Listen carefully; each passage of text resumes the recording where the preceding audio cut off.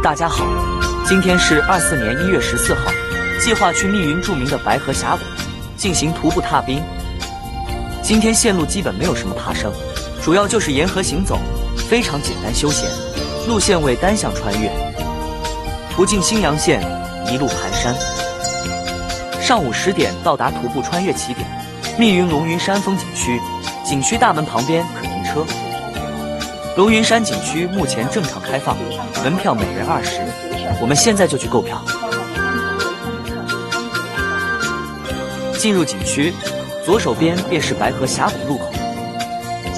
龙云山是一个小众景区，面积不大，景区可谓山环水抱，钟灵敏秀。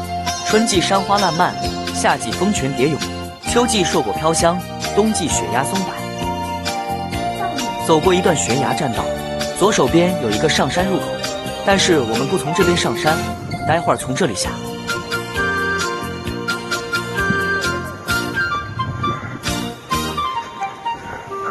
白河现在没有全部冻结，这里只有靠近岸边的地方冻上了，中间是奔流不息的河水，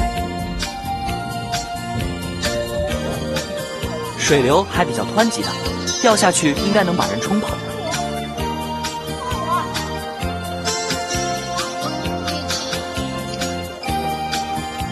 景色很美，许多游客都在拍照留念。看一下龙云山这边的山峰，靠近云蒙山一带。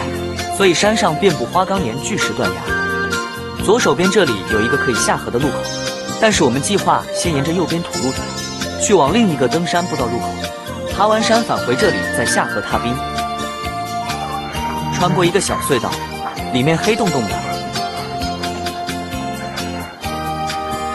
随后在总里程一点二公里，用时二十分钟，右手边到达龙云山登山步道入口，从面前这个小房子处上山。这边的步道感觉年久失修，台阶支离破碎，像是废弃了一样。坡度还挺陡的，比较剧烈的一个爬升，碎石多，注意防滑。右手脚并用爬上一个小断崖，顺着这条铁管爬完陡坡。前方已经基本上就到达龙云山山顶，感觉这山没多高呀。龙云山山顶有一个小水库，目前已经完全冻结了厚厚的冰层。这里是龙云山最高点观景台，海拔四百米处俯瞰下面的白河峡谷，两岸山势高耸，峡谷深切，太壮观了。顺着山脊往回走，准备返回第一个的那个上山岔路口。登山步道修建在悬崖边缘，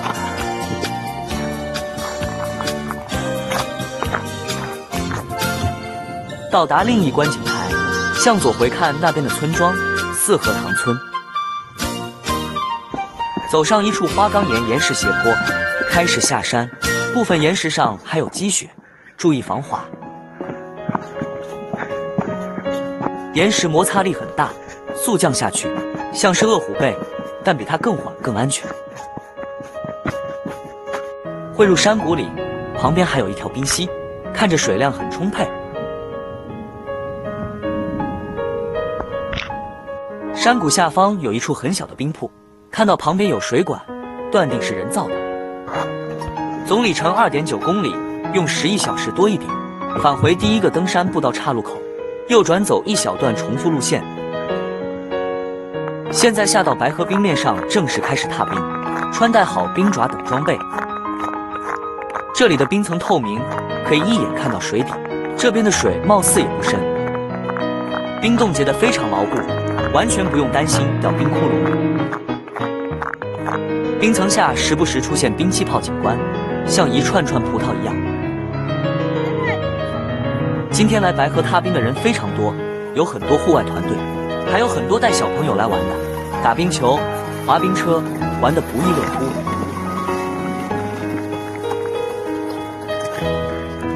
来到了一处没有冻结的地方，看看流水，水流叮咚作响，悦耳动听。眺望远处的小房子，刚刚我们就是从那里开始爬山的。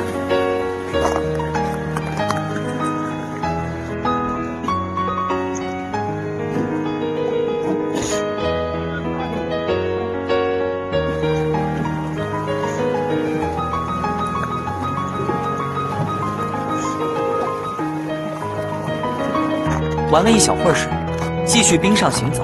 今天我们要走完白河全部徒步路线，一直走到青石岭村那边去，然后再坐别人车返回起点去取车。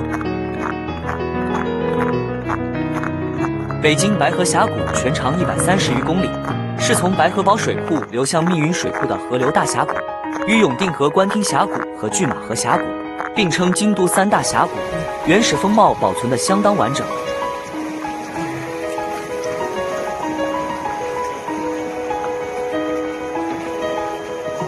看一下旁边雄伟挺拔的断崖山峰，像一名昂首阔步的战士。踏过一片乱石滩。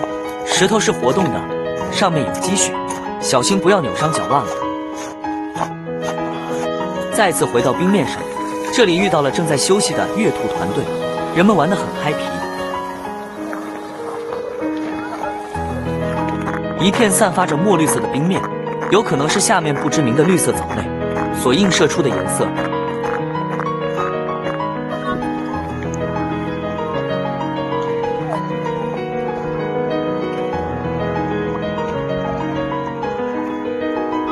一段时间后，突然发现前方河道被东西拦住了，不知道是什么原因，可能是没冻结牢固吧。走左边小路上岸，原来是龙云山景区的界限，绳子后面就正式出景区范围了。钻过绳子，继续朝青石岭前进，总里程六点二公里，用时两小时。到达白河峡谷的第一个大拐弯，地图上看呈现出马蹄形。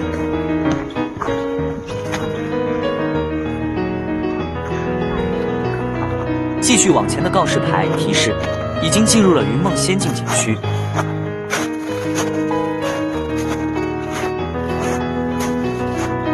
河岸边的路也变成了能走车的机耕路，前面听说还有几个营地。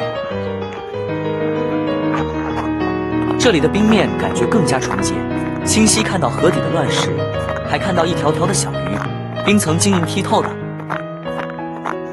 绕过白河马蹄大拐弯，旁边河滩处就是一处营地，有游客搭帐篷了。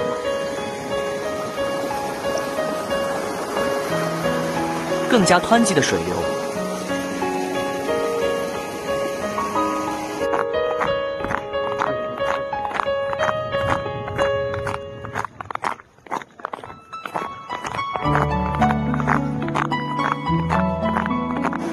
河水奔流不息，泛起白浪花，部分地方还形成一个个小漩涡。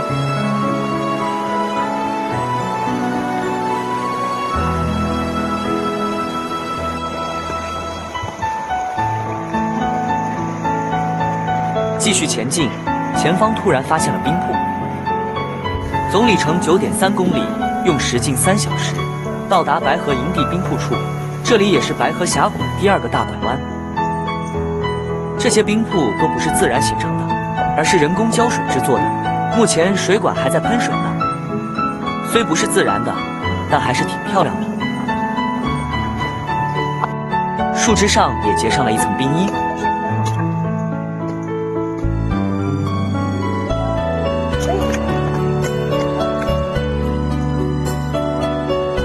路过一处滑雪场，这里的冰雪也都是人造的。